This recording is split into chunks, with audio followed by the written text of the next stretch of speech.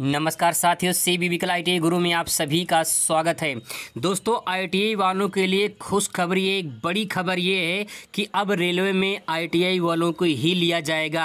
आप चाहे आईटीआई कर रहे हैं या फिर आईटीआई कर चुके हैं या भविष्य में आईटीआई करने वाले हैं, आप सभी के लिए बहुत ही मोस्ट इंपॉर्टेंट ये खबर है कि रेलवे में अब सिर्फ़ आईटीआई वालों के ही लिया जाएगा।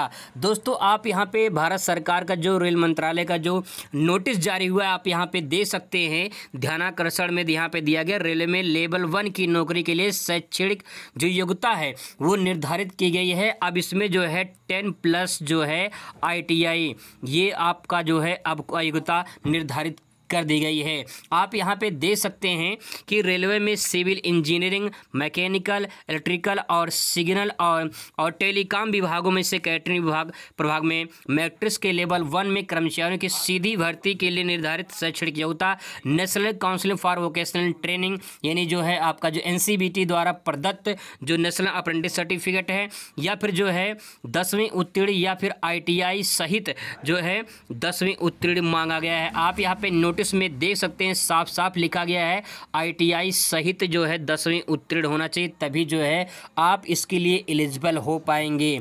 यहाँ पे दोस्तों आप देख सकते हैं नोटिस में जो 2000 अट्ठारह उन्नीस में वैकेंसी आई थी, उसमें जो सिर्फ़ दसवीं पास जो है, मांगा गया था, लेकिन जो है मतलब कि विवाद हुआ था पहले, फिर इसके बाद आईटीआई को हटा दिया गया, फिर इसके बाद जो है फाइनली यहाँ पे जो फाइनली नोटिस जारी हुआ है, और उसमें कहा गया है कि जो है आईटीआई जो है, होना चाहिए, ये जो रखा गया है, आप यहाँ पर नोटिस में नीचे भी दे सकते हैं कि जो आने वाली, अब जो वैकेंसी होगी, उसमें दसवीं उत्तीर्ण जो है, मांगा गया है, उसमें आईटीआई की जो है, सही दसवीं उत्तीर्ण होना चाहिए, तभी जो है, आप इसके उम्मीदवार जो है हो पाएँगे, आप इसको जो है भर पाएँगे। दोस्तों, यहाँ पे नोटिस आप दे सकते हैं, आपके सामने नोटिस है, आप इसमें पढ़ सकते हैं। इसमें पूरा डिटेल में बताया गया है। अच्छे से कि जो है, अब जो आने वाले वैकेंसी है नोटिस तो जारी हो चुका है, बहुत जल्द ही वैकेंसी भी आने वाली है, जैसे आएगा, आपको सूचित किया जाएगा। फ़िलहाल जो है आईटीआई वाले यहाँ पर खुश हो जाएँ कि जो है, दसवीं के साथ जो है, अब आईटीआई भी जो है, मांगा गया है। क्योंकि पहले क्या था कि दसवीं जब योग्यता मांगा गया था, उसमें आवेदन बहुत ज़्यादा आ गए थे।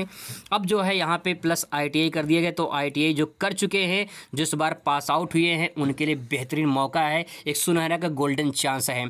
चलिए मिलते हैं नेक्स्ट वीडियो में। Thanks for watching